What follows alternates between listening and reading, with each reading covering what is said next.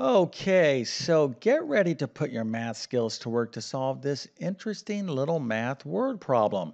Matter of fact, let me go ahead and read the problem. It is as follows. Two gears have a gear ratio of 8 to 1. The big gear turns at 36 RPMs. What is the RPMs of the little gear? Matter of fact, I got to put a little s here, RPMs. All right, so this is the question, and if you could figure this out, go ahead and put your answer into the comments section. I'll share the correct solution in just one second. Then, of course, I'll fully explain how to solve this problem. But uh, before we kind of take the next step here, uh, let me go ahead and just clear up uh, what some of these terms mean, just in case you don't know what a gear is or RPM stand for or gear ratio. And of course, we'll look at the uh, look at this problem deeper in the solution, but a gear is basically a round device. Well, it's just it's a basically mechanical uh, thing, and it's round and has little teeth sticking out this side of it. This is a poor rendition of a gear, but this is, let's say, a small gear, and next to it, it would be turning a big gear. So this gear over here has teeth as well. So you can imagine if you kind of looked inside the transmission of your vehicle, or maybe like an old grandfather clock or old school clock, you have gears turning other gears. So a small gear will turn a big gear. All right, now the speed of a gear, speed of a gear, excuse me, is measured in RPMs, which stands uh, for revolutions per minute. It's how many times uh, these gears are going around in one minute. And a gear ratio is basically uh, the comparison of the ratio of speeds between a small gear and a big gear. Now, of course, you need to understand this ratio pretty well in order to figure this problem out. But uh, this is the problem. All right, so let's just read it one more time for those of you were uh, that were confused about any aspect of what's going on here with these gears. So uh, let me go ahead and scroll down. All right, so one more time, two gears have a gear ratio of 8 to 1. The big gear turns at 36 RPMs. What is the RPMs of the little gear? All right, so once again, if you have the answer, put that into the comment section. And uh, of course, I'll show you the answer and we'll go through the solution in just one second. But first, let me go ahead and quickly introduce myself. My name is John, and I have been teaching middle and high school math for decades. And if you need help learning math, well, check out my math help program at tcmathacademy.com. You can find a link to that in the description below. And if this video helps you out, or if you just enjoy this content, make sure to like and subscribe, as that definitely helps me out. Okay, so let's go and take a look at the answer. So the answer is the big gear. What is the RPMs? Oh, I'm sorry, the little gear. Little gear. Excuse me. So the question is, we have a, uh, a small gear and a big gear, right? So the big gear is turning at 36 RPMs. So if this big gear is turning at 36 RPMs, do you think the small gear is going to be going faster? So in other words, does a, a, small gear have to work harder in order to turn this big gear? Well, if you think that this has to be going faster than the big gear, well, it makes sense, right? And that's why our answer uh, is more RPM. So the actual answer is 288 RPMs. Okay, so if you got this right, that is fantastic. Matter of fact, we have to celebrate by giving you a nice little happy face, an A plus, a 100%, and multiple stars because uh, it's clear to me that you know a thing or two about ratios, right? So this problem is all about ratios. And when you think of ratios, you have to think of proportions. So that's what this problem is all about. But if you kind of just figure this out using common sense, well, that is fantastic as well. But uh, really, the main idea here from a mathematical standpoint is to understand what a ratio is. And if you're using a ratio, well, we have to use something called proportions to solve ratio problems. Okay, so let's go and get into this right now. Now, again, you know, I've kind of explained the problem a few times, but let's suppose this was the first time you saw this problem. We'll always use the rule of three. Read the problem multiple times, at least three times, uh, to kind of figure out what's going on. Now, again, if you don't know what a gear is, or you know, uh, gear ratio or RPM stand for, you got to get those clarifications. So, if you are a student, raise your hand. You know, ask your teacher. Now, if you're doing like a homework problem, well, you're gonna have to look these things up and uh, you know figure out you know the aspects of the problem because you can't solve a problem if you don't understand it. Okay, so uh, hopefully by now we have a thorough understanding of the problem. But uh, what we want to do is model the information in the problem so we can answer this thing. So let's go ahead and uh, take all this information and see if we can better understand it by creating a lovely little sketch. Okay, so here are my two gears. We have a small gear and we have a big gear. So uh, the gears have a gear ratio of 8 to 1. So what does that mean? Well, you can see right here uh, what it means. It means that this small gear, right, is going to be turning faster than this big gear. It's going to have to do more revolutions to turn this uh, big gear. Now, uh, what's the comparison? How can we measure the relationship between these two gears? Well, we use something called a gear ratio. And basically, that uh, is stating the following. So if your gear ratio is 8 to 1, to turn this big gear around one time well, the small gear is going to have to go around eight times, or uh, it's going to take eight turns of the small gear to turn the big gear around one time. So this is what a gear ratio means, and uh, you know, hopefully, it's kind of um, intuitive that the small gear is going to be have uh, is going to have to travel faster, right? So it's going to have to make more turns in order to turn the big gear.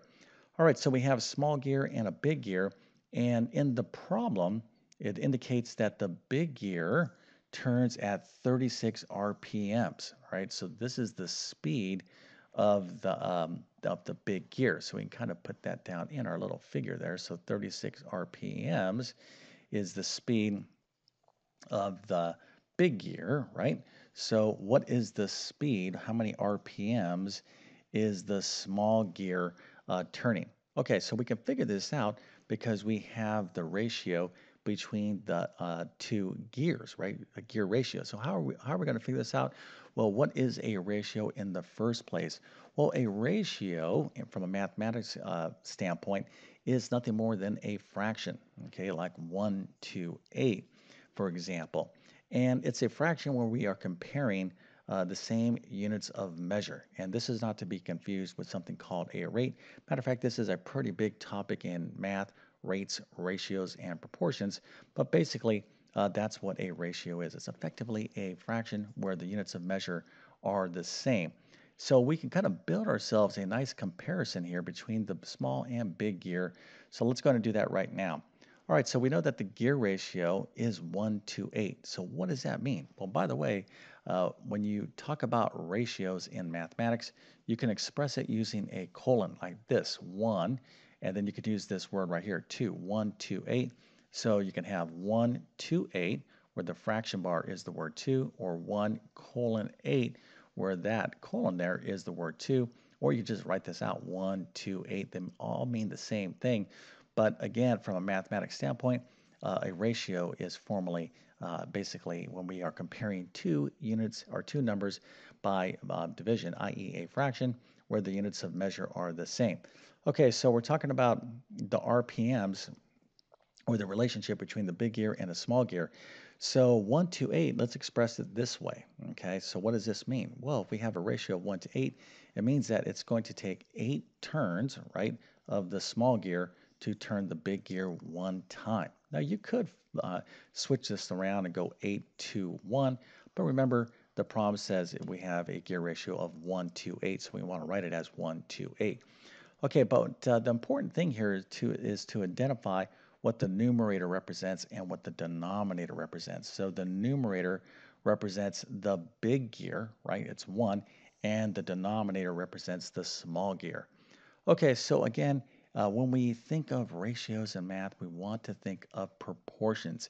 And a proportion is nothing more than two equal fractions. So for example, if I have the fraction 1 half, well, another fraction that is uh, perfectly equal to 1 half is 3 over 6. You see, these are two equivalent fractions.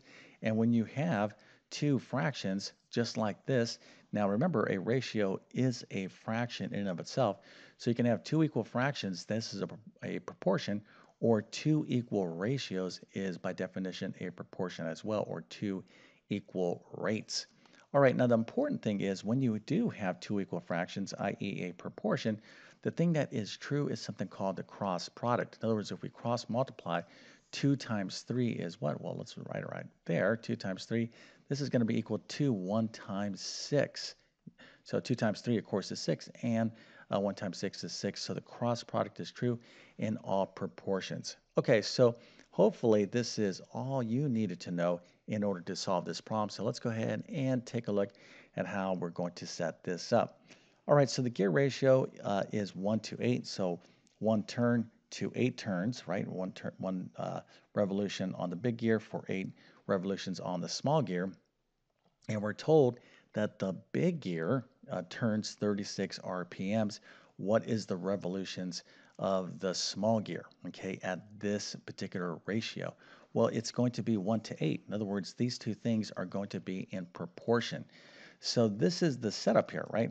So the big gear um, is going to be, um, uh, again, the proportion here is 1 to 8. But the big thing to remember is that the numerators have to represent the same unit, uh, units of measure, which in this case is the RPMs of the big gear.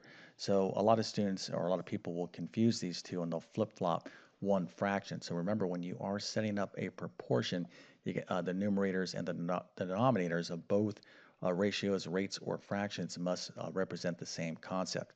Okay, so here uh, what we're trying to determine is how many RPMs the small gear is going to go when the big gear is going 36 RPMs. Well, this uh, speed is going to be in proportion to this ratio 1 to 8.